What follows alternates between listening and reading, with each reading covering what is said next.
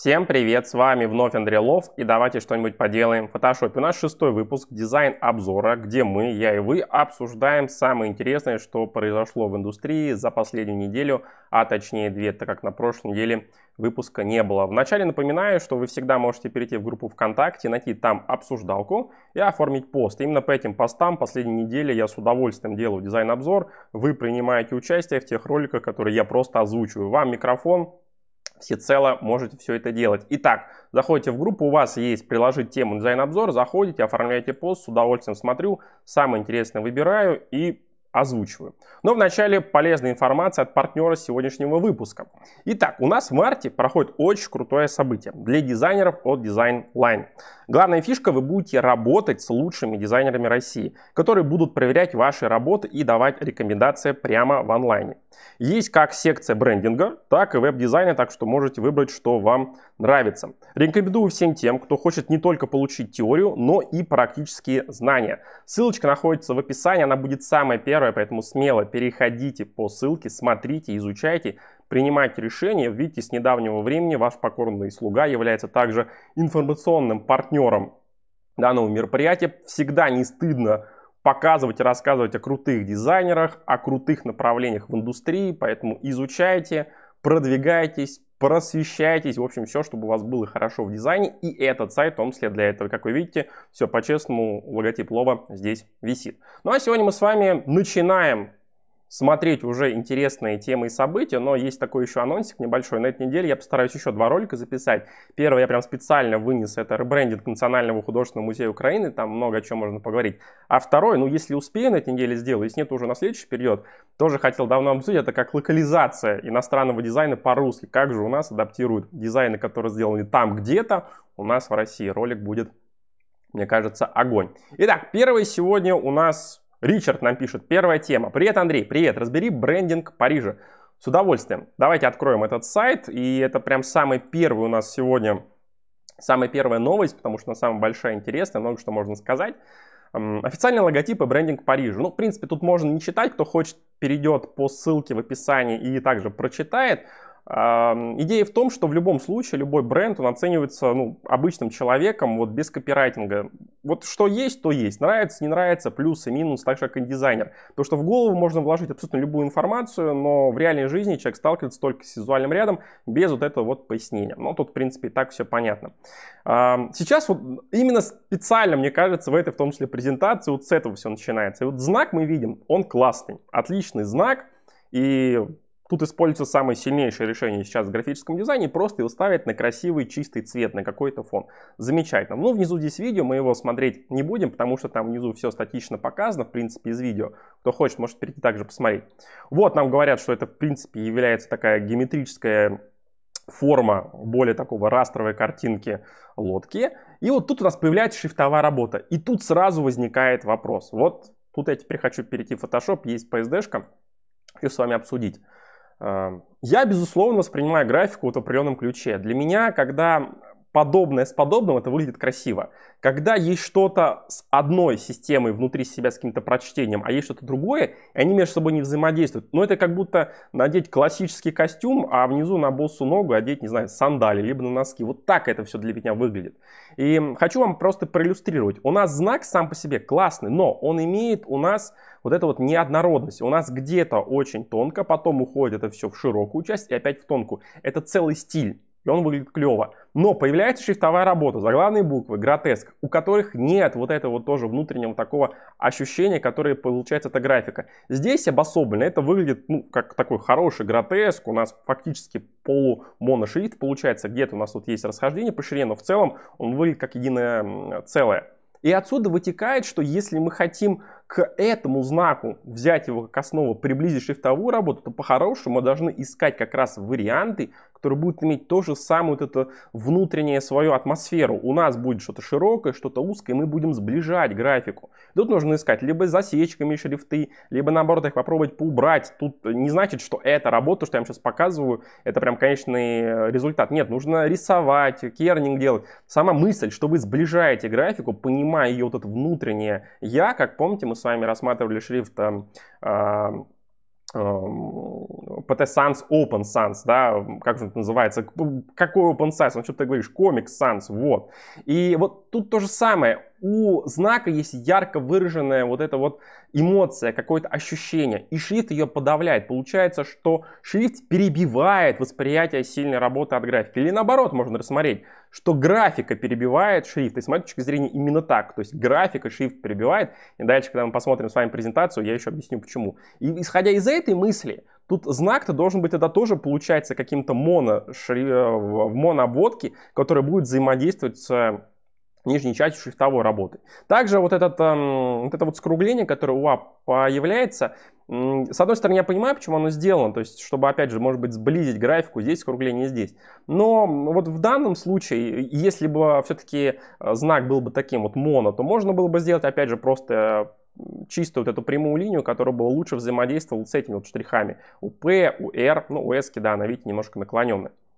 И еще хочу сказать, что вот здесь знак, если видео посмотреть, э, там он увеличивается, можно видеть две вещи. Первое, что у нас во внешнем контуре есть скругление, во внутреннем нет. Это тоже очень странно. То есть, если вы идете по пути какого-то острия, только вот здесь можно было бы сделать более плотное часть. А вот на кончиках очень верно, что это скругление. Я как на ловкачах вам этот, эту фишку графических дизайнеров рассказывал, что если вы здесь сделаете просто острие, то на удалении в мелком кегле у нас оно просто будет вообще практически не читаться. И там специально либо вообще просто срезают кончик, либо делают скругление.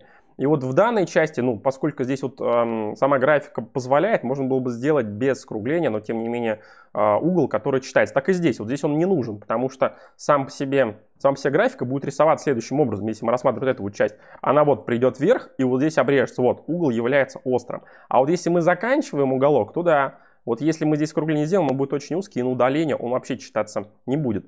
Итого, вот исходя из текущих вариантов, что я могу сказать? Что одна работа шрифтовая перебивает графику, графика перебивает шрифт.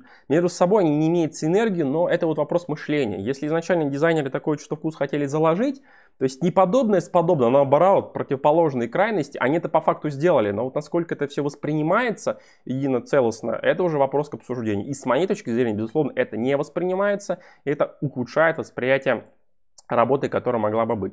Внизу мы видим с вами прекрасный шрифт Монсеррат. Я вам всем советую его попробовать, поиспользовать. Последние два месяца я его часто использую, советую клиентам. Всем нравится, он бесплатный, находится в библиотеке Google Fonts, поэтому пользуйтесь.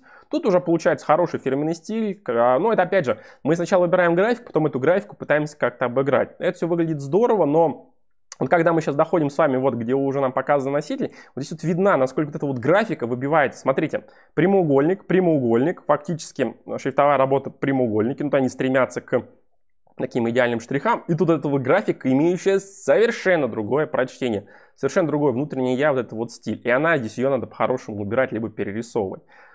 Все вот здесь выглядит хорошо, но это классическая такая верстка, кроме этого знака. Но сам себе знак клевый, он отличный, но он вообще не вписывается вот в эту парадигму дизайна, которую нам пытаются показать. Вот здесь то же самое. Ну вот, вот это смотрится, вот он как будто из другой совершенно оперы, как будто совершенно другое направление. А во всем остальном, конечно, используют хорошие цвета, хорошая верстка. То же самое вот здесь как раз вот этот вот знак, вот насколько же они ну, вот не взаимодействуют. Отдельный блок отдельный, по-хорошему здесь хорошо, здесь хорошо в совокупности. Этот понижает верхний блок, верхний получает нижний блок. Да, то, конечно, тут есть везде заглавные буквы. А, в полиграфии, ну, есть дизайнеры, которые очень любят такую тесноту по краям. Я не привержен с такой верстки, я, наоборот, пытаюсь всегда использовать пространство. Особенно тут, если сейчас мы дойдем до нижней полиграфии, по-моему, посмотреть, вот здесь, то есть логотип очень тесно стоит. И тут как раз можно было бы сделать версию, которая была вверху, а, то есть знак бы был бы здесь, а шрифтовая работа была бы в горизонтали. Соответственно, пространство было бы больше. Но это, опять же, такое чувство вкуса у дизайнеров. Я не привержен такого, я от этого ушел. Я люблю пространство, пространство акцента. Кто-то любит, наоборот, тесноту, какую-то вот прям большую плотность. Итого, что хочется сказать. То есть проект классный, он, в нем есть мысль, он все считывается. Но вот эти вот противоречия между знаком и счетовой работой, они, с моей точки зрения, работу ослабляют. То есть любой из таких доработанных вариантов в конечном итоге был бы сильнее этого. Значит, безусловно, с моей точки зрения, можно сказать, что работа была бы сделана лучше. Но вот так дизайнеры во Франции видят свой бренд, они имеют на это право? Имеют. Следующее у нас Новость, давайте ее прочитаем, пишет нам Андрей. Радикальные изменения подвергся канадская компания Flair Airlines. Давайте посмотрим, что же у нас за изменения, что было, что стало. Перейдем также на их сайт. и пообсуждаем все это. Итак, у нас что было? Был какой-то знак, знак улетал в левую сторону, у нас было многоцветие, здесь, ну, тут градиент, точнее, здесь синий, у нас были заглавные буквы с небольшой разрядкой, они у нас были еще с курсивом, здесь у нас также был строчный набор с курсивом. Ну, фактически, прям классический набор вещей, который понижает восприятие вашей типографической работы. Ну, а знак, в принципе, сам себе вполне себе, но что они решают сделать? Первое, они сразу приходят в высшую лигу дизайна под названием строчные буквы. И это прям уже сразу плюс. Второе, они убирают курсив, тоже замечательно. Сразу решают все проблемы. У нас LA теперь он не имеет такое гигантское пространство, очень хорошо взаимодействует.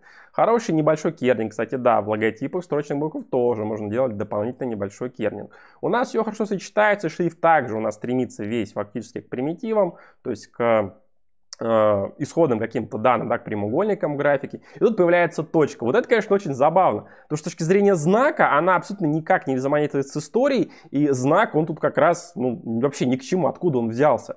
Ну, просто потому что это примитив. Это мир захватывает э, примитивы, мир захватывает гротески, но не до такой же степени. И самое главное, в фирменном стиле здесь вообще не видно, каким образом это взаимодействует с общим визуальным рядом. Все остальное классно, цвет подобран очень умно. Почему? Этот цвет является очень ярким, который будет прежде всего использоваться в вебе, а в реальной жизни все это будет не печататься же офсетом, ну хотя офсет там тоже, наверное, будет, но там они, скорее всего, понизят какую-то процентовку, а все это будет краситься, значит, они имеют право использовать такой яркий цвет, который будет наноситься, ну фактически это понтон, условно, только этот понтон будет ручками здесь наноситься, либо там другой технологии, это не офсет, поэтому они имеют право использовать такой яркий цвет. И как раз он является а, очень таким ярким, фактически белым. И на нем черный вполне смотрится хорошо. Вот случай, когда черный можно использовать на цвете. Фактически такие а, чуть более яркие, чем пастельные цвета, но которые по факту тяготеют к белому. То есть вот это хорошая часть и внизу тоже хорошая часть. Эм, если бы я бы не видел историю, я бы сказал, что это классно, это очень современно, это классно, то есть по мысли, ну, примитив, ладно, то есть его нельзя расценивать как знак, но это просто как вот, ну, ну, скорее всего, это как было так, вот мы сделали просто Flare Airlines, нет, работа не проделана, давайте знак поставим. Самый идеальный знак в такой работе, это просто квадрат, э, треугольник, либо круг, ну, ну, объективно, да, а уже все из этого вытекает. Но вот почему здесь вот не заложили какую-то историю прошлого знака, вот вопрос. Поэтому знак я не могу расценивать как в принципе проделанную работу, но она... И она никак в фирменном стиле нет, поэтому вот эта часть это провал с моей точки зрения. А вот здесь прям 10 баллов, добро пожаловать в высшую лигу дизайна. Но это торговый марк все-таки можно уже отказываться.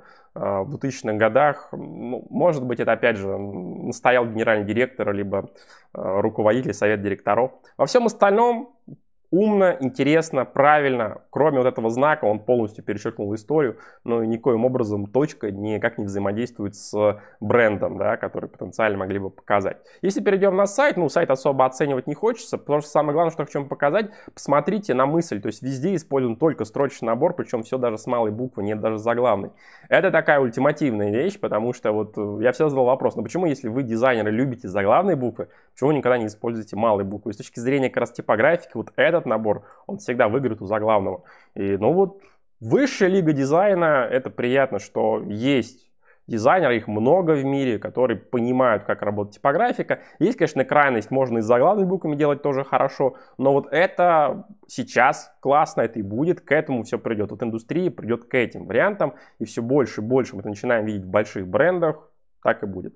Здесь вот у нас вот этот знак выглядит, в принципе, неплохо, но еще раз, просто примитив, но его трудно расценивать как какой-то хороший знак. Он сам себе, конечно, классный, но можно было бы попытаться хотя бы от примитива сделать что-то с какими-то там, с какой-то историей, чтобы в совокупности это все куда больше заиграло. Шрифтовая работа отлично, десятка, знак, но его вообще оценивать нельзя, это просто, как мне кажется, заглушка, как вынужденная мера, чтобы клиент сказал, что работа проделана. Потому что вообще бы я, в принципе, этот круг бы убрал, оставил бы вот Flare Airlines, в конечном итоге здесь три точки есть, они так уже тут смотрится. А вот как раз круг можно было бы внедрить фирменный стиль, ну и, соответственно, вот в какую-то верстку. Хорошая работа. Видите, сегодня уже вторая работа, и все классные. Третья новость. Давайте почитаем. Привет, Андрей, привет. Власти Магнитогорска презентовали брендбук к 90-летнему юбилею города. Как рассказали в пресс-службе мэрии, в преддверии юбилея в Магнитогорске появляются брендированные флаги, баннеры и арт-объекты. Главным элементом юбилейной символики стал стилизованный памятник «Первая палатка», брендбук. Ну давайте откроем, посмотрим. Ну хотя я думаю, тут уже вы по презентации видите. Почему я, в принципе, включил эту работу в дизайн-обзор? Это классическое понимание со стороны чиновников, со стороны людей там 40-45+, как должен выглядеть сейчас дизайн.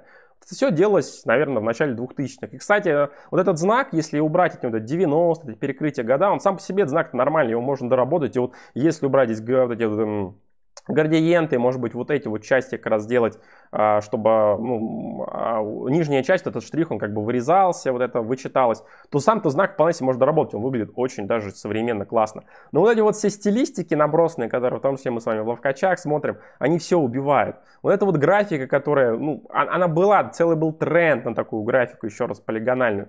И вот все вот это, это прошлое. Это то же самое вот монохром. В монохроме так вообще вот этот вот знак, особенно эти вот перекрытия, корявые буквы не буква, а цифра, они как раз все это разваливают. Но сам знак, еще раз, имеет интересную геометрию, его можно было бы дорабатывать. То есть знак можно оставить, доделать, все остальное нужно, конечно, пересматривать. И вот это вот любимая тема, я не знаю, почему-то у нас во власти, это заглавные буквы. Ну и, в принципе, ну, было время, сам взаимодействовал, когда жил в Липецке. У меня также был целый направление, я там делал полиграфию и бренд для депутата, но в целом э, я же тогда вообще в дизайне особо-то ничего не понимал, и я просто копировал других. Но вот часто в 19 году зачем копировать вот то, что было в прошлом, если есть референсы у настоящих студий. Здесь прям все, куда ни посмотрим, мы видим вот эти вот странные, очень непонятные, слабые решения. Хотя вот здесь вот мысль-то очень правильная, то есть есть большая картинка, разделитель, другое что разделитель можно по-другому было более интересно обыграть, с какими-то выносками, с чем-то еще. Помните, как мы смотрели, как там 400 лет обыгрывалось, какой-то там до реальности эм, там вынести абстрактный какой-то объект. И вот этот знак, ну вообще, вот, вот, вот то есть картинку оставляем, здесь картинку, здесь картинку оставляем только вверху, не надо засветлять, а сделали, чтобы контраст получить, да, к знаку и здесь. То есть здесь, смотрите, даже дошло до того, что здесь картинку даже, ну, даже не довели, ее даже скадрировать, ну, не хотят правильно. Это вот, ну, типичная разработка бренда, когда не к дизайнеру какого-то определенного уровня обращается, а своими силами внутренними делают. Ну, то есть, в принципе, дизайн, дизайн. Но расценивать это как что-то хорошее, сильное, да, конечно же, нельзя. Но при этом, взяв вот просто саму идею, можно доработать. То есть идеи тут есть, особенно в знаке. А все остальное нужно перерисовывать, переделывать под современные реалии, под современную мысль в графическом дизайне. Все развивается, в том числе графический дизайн. И делать так, как делали раньше, это просто неправильно. Нужно иметь современное чтение, но все-таки быть в каких-то определенных градациях, а не выходить там просто за пределы, делать только какую-то абстракцию. Вот я так вижу. Нет, дизайн это все-таки про мысль. Но все равно, видите, посмотрели сегодня именно на контрасте. Дальше у нас четвертая новость, также у нас есть PSD, сейчас посмотрим. Читаем. Данил пишет, редизайн логотип моего вуза. Не только Данил мне написал, было еще достаточно много информации именно по вот этим. Так, давайте мы здесь посмотрим видео сначала. Я когда увидел, я прям был очень сильно удивлен. То есть, ну вот же, есть дизайн, осмысленный, продуманный, с определенной геометрией, кроме одного, одной вещи. Тоже вот тут есть один блок, который хочется спросить вопрос, зачем? Если специально так сделали для того, чтобы на это акцентировать внимание, все остальное люди не оценивали зачет. Но вот, вот сейчас мы все выглядим, вроде все выглядит хорошо, да, давайте сейчас до конца досмотрим. Эм, вообще во всем этом бренде есть только дв- два замечания, но одно прямо оно явное, вы сейчас его увидите, да уже, наверное, видите. А вот второе, ну, это уже вопрос как бы не вкусовщины, а какой-то мысли. Давайте с вами все это вот посмотрим. И теперь перейдем непосредственно... Э, ну, вы уже видите, что хорошо, да, выглядит прям... Особенно в сравнении с брендом, который мы только что смотрели. А, итак, у нас есть PSD-шка. Смотрим. Вот есть у нас логотип, он классный. И вот здесь заглавные буквы очень уместные. У нас получается знак такой геометричный. Понятно, что все идет от примитивов, хорошей современной графики. Здесь также, видите, разделены, получается, такие направления классно. А, Нетти написано на английском, на латинице, и вот тут очень уместно использовать заглавный набор, такой вот моношрифт, который как раз взаимодействует с этой графикой, о чем мы сегодня в самом начале с вами это обсудили. И получается с такой, с небольшой разрядкой, видите, здесь опять же у нас более разрядка меньше между буквами, здесь а, прям в ширину штриха. Почему? Потому что здесь расстояние у Е и Т и Т и I больше, значит нужно компенсировать, сближая буквы. Здесь у нас строчный набор, стоит вот этот вот квадрат, я понимаю, точка, я понимаю, зачем он здесь стоит, чтобы, наверное, еще показать вот эту вот часть с э, квадратом, но в целом ее можно было бы убрать. Ну, то есть, убрав этот элемент, вы бы еще сильнее привлекли бы внимание к логотипу. По градиентам, ну, это вопрос. То есть, если в полиграфии можно еще использовать, хотя я не советую именно в полиграфии, потому что, то есть, наоборот, я хотел сказать, что вот, знаете, вот эм, где-то там используют какой-то такой продукции, да, наверное, можно. А вот в полиграфии все-таки градиент всегда печатается хуже, чем моноцвет один. И более того, не забывайте, что градиент всегда вашу продукцию удешевляют. Если хотите показать современный, строгий, сильный дизайн, то нужно как раз сделать в один цвет. А уже какие вы подберете, решайте сами. Ну вот внизу, и вот мы смотрим, здесь смотрите, строчный набор, классно. То есть, опять же, добро пожаловать в высшую лигу дизайна по мысли. Но тут появляется а, вот эта вот часть. И тут прям вопрос, Каким образом? Ну, смотрите, знак классный. Новосибирский государственный технический университет. Классно, строящий набор, хорошая разрядка. Нети классно. И буква Е появляется. И вы такие думаете, чего? Но тут же есть буква Н, которая просто делаем инверсию, получается буква И. Буква Т есть. Буква N, да, должны перерисовать, но Е-то она у вас уже есть, и она геометричная, она взаимодействует знаком. Ну, то есть вот же, вот же классно, вот это, вот взаимодействие с друг другом, это взаимодействие, все, вот классная работа, вот эта часть да, и нижняя часть. Здесь вам просто нужно было сделать инверсию. Появляется скругление какое-то, вот это вот пространство, и получается, что вот эта ширина у нас, вот эта ширина, она у нас визуально уже, чем данная. Зачем? Тут вот в этом блоке, в российском, это ну, надо специально показать, что в российских реалиях мы можем чуть-чуть что-то ухудшить. Просто возьмите логику, вот вы же сами это все разработали. И вот это все просто для чего? Может быть, они это переделают. Или просто интересно было почитать, почему в российской версии букву Е изменили геометрично, то есть геометрически, зачем ее перерисовывали, она у вас есть. То есть как бы буква, ну как бы Э и Е, ну понятное дело, что их надо просто повернуть, и уже понятно. То есть а, идея была в том, чтобы читали именно как нети через Э, а не Ети. Ну это вот как раз, что визуальный ряд, ну, так, в такие компромиссы бы я бы не шел бы. То есть да, вы хотите показать Э, но оставьте вы все равно, будьте вы до конца сильными. Ну пусть даже читает, ну нети, какая вам разница-то. Но визуальный ряд все-таки на первом месте. И вот, вот это вот скругление, а его нигде нет. Вы посмотрите, эта часть появляется, она противоречит всей графике. Здесь противоречит, здесь, здесь, здесь. И появляется тут неожиданно. И я бы, конечно, все это убирал бы, безусловно. То есть здесь вот так вот должно быть нарисовано. В общем, то же самое, чтобы мы видели с вами вверху. Все, надо быть сильными до конца. В остальном же, ну, по сравнению с тем, что было, я сначала не показал, ну тут просто земля и небо, это просто космос. Мы с вами оторвались и улетели вверх. Работа проделана классно, очень хороший, сильный дизайн, особенно все, что касается именно латиницы. Ну, это вот буква «э», она выбивается и портит восприятие. Вот тут то же самое, вот ее просто надо дорисовать, просто ее надо дожать, и все. И все становится хорошо, здесь точки не нужны, тоже удаляем. И вот прям дизайн который дел, должен делаться в России по мысли, по уму. И вот когда такое вы видите в реальности, это круто, это вызывает восторг у дизайна. У меня этот проект вызвал восторг. Могу снизить только один этот балл за «э», но это, скорее всего, было ректорат внес свои пожелания и так далее. Но дизайнер вот выложился вот в этой части, он молодец.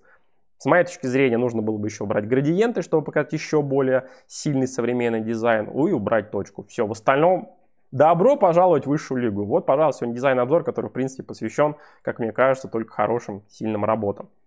Дальше давайте посмотрим с вами следующую новость. Так, это уже логотип. Давайте почитаем.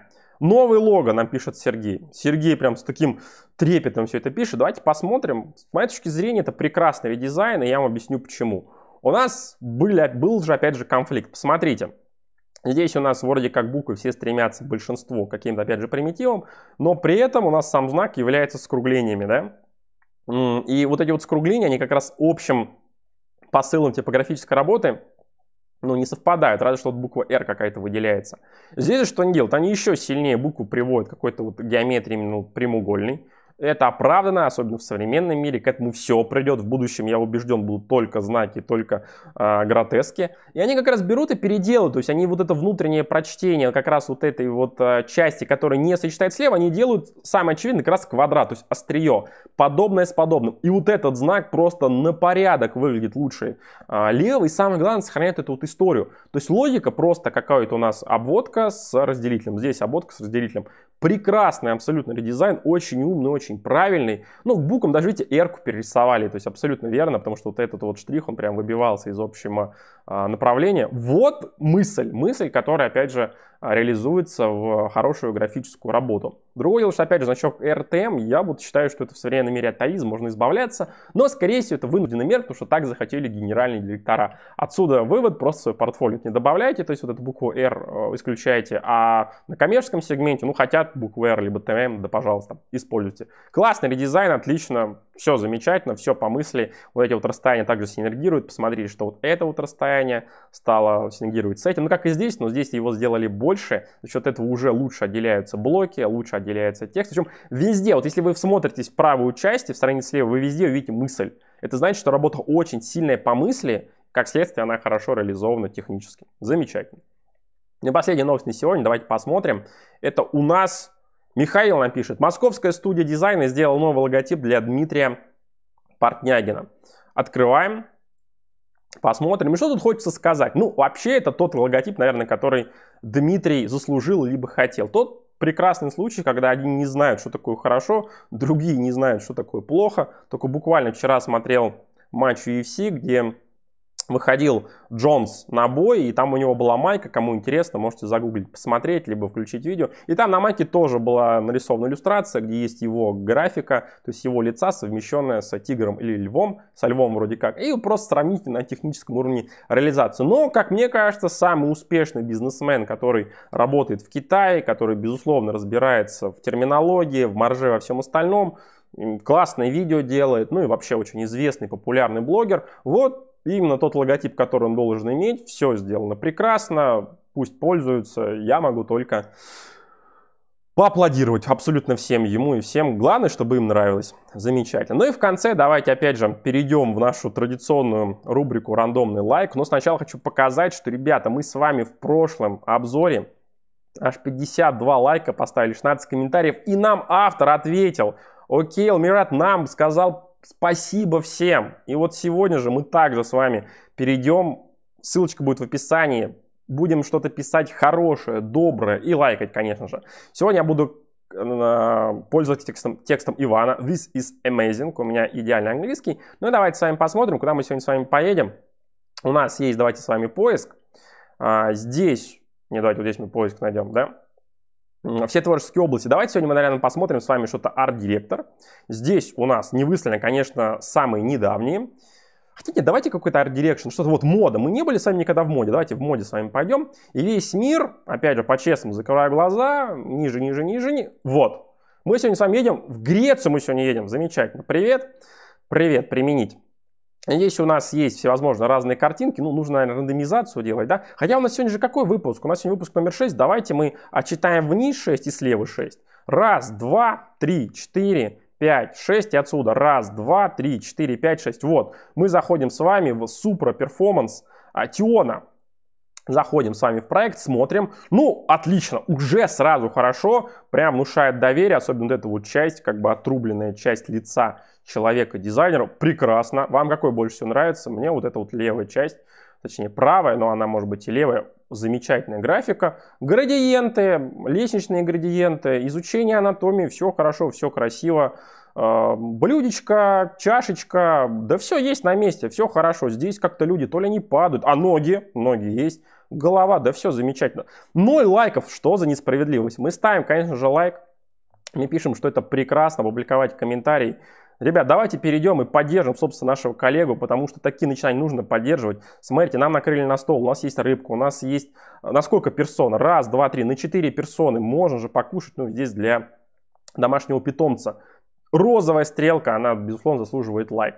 Вот такой сегодня получился дизайн-обзор. В конце вы знаете, что делать. Если вам все понравилось, или же наоборот, вам что-то не понравилось, то, конечно же, пишите, что вы хотите в следующем дизайн-обзоре. Заходите в группу, оформляйте посты. Можете поставить ваш царский палец вверх. В общем, чтобы все у нас в конце этого ролика было замечательно, мы сегодня посмотрели с вами очень много хороших, сильных работ, почерпнули много мыслей. Это к тому, что дизайн имеет очень сильные градации, но их нужно осознавать просто в голове и иметь свою эту систему внутренней ценности оценки, и иметь свою позицию. Именно так в дизайне, собственно, и развиваются дизайнеры. А на сегодня это все. Я надеюсь, вам понравился этот ролик. На этой неделе будут еще интересные материалы.